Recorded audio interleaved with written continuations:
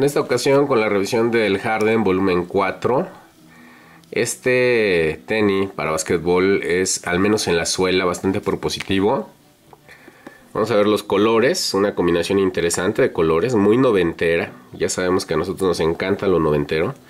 Una, un rayado pues eh, propositivo, interesante, ¿no?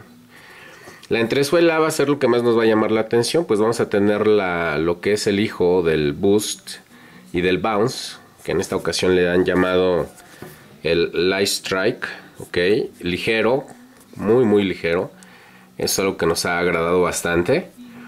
Y al menos lo que es la suela y la entresuela, suela y entresuela, es un diseño muy propositivo, es muy orgánico. Vean esas curvas, vean esos, esas protuberancias.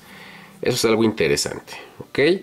En la parte superior de esta zapatilla que vamos a tener, en la punta, vamos a tener principalmente Nobuk o carnaza, como le llamamos en México, de color negro, así como en la parte posterior. Eh, en la parte media vamos a tener una malla eh, que no nos da gran realce, gran pues una, propuesta nueva no lo es, o sea, no es este Prime Knit, pero sí vamos a tener, y como lo vimos en el Harden volumen 2, este resorte que te agarra el empeine, ¿ok? Eh, y en la parte media, en la parte tanto interior como posterior, vamos a tener estos elementos de plástico que te van a dar soporte para el, para el agarre, ¿ok? En la parte trasera acolchonado, realmente bueno, un acolchonamiento ya conocido en Adidas. Y este detalle en brilloso, muy bonito, acabado tipo piano con el, símbolo de Harden, ¿ok? Es un tenis que llamamos en México choclo, porque obviamente no es de bota.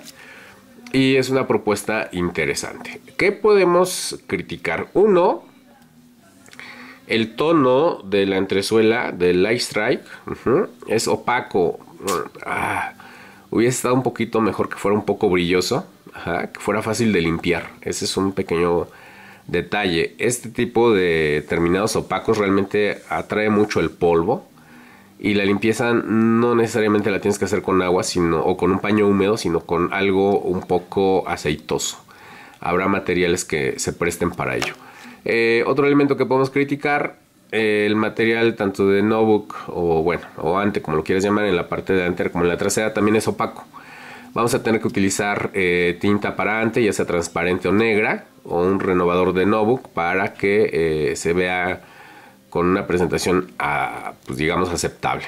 En la parte media vamos a criticar el elemento que este, esta zapatilla realmente es una zapatilla obviamente estándar pero para las demandas de un mexicano con pie eh, gordo o con empeine prominente como lo es el mío, pues obviamente no, nos va a dar mucha comodidad. Esta parte va a ser una, lata. Lo vas a tener que domar definitivamente, puesto que sí genera algunos inconvenientes, incluso dolorosos, ¿eh? Así que estén atentos a ese detalle. Adidas, por favor, no se puedes hacer un diseño para los mexicanos mismos diseños, solamente con el resorte un poquito más flojito, de tal modo que no nos lastime, no nos ahorque, no nos mate el pie en ese sentido. ¿Ok? Eh, te lo recomiendo para mm, eh, interiores, para exteriores también, pero bueno, con el detalle que se va a ensuciar bastante por el color. Este modelo de barbershop eh, o peluquería o estética, no, estética no, peluquería, ¿no? Para términos mexicanos pues me parece que es uno de los más interesantes. Los otros más coloridos, bueno, también son muy, muy llamativos, ¿no? Este modelo me parece muy noventero en ese sentido, así que te lo recomiendo para que lo uses del diario. Eh, pues sí, eh, para todos los días, bien, bien, con unas buenas bermudas, unos buenos shorts, va a combinar perfecto, sobre todo con una calceta blanca, va a estar maravilloso. Eh, el precio 3.200 pesos, 3.400, algo así, ya no recuerdo.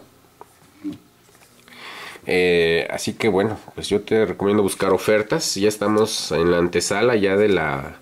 Terminando esa temporada, cosa de octubre, noviembre, sale el Harden volumen 5, si no es que antes. Quizás hay unas filtraciones, así que lo vamos a esperar. Por ahora es todo.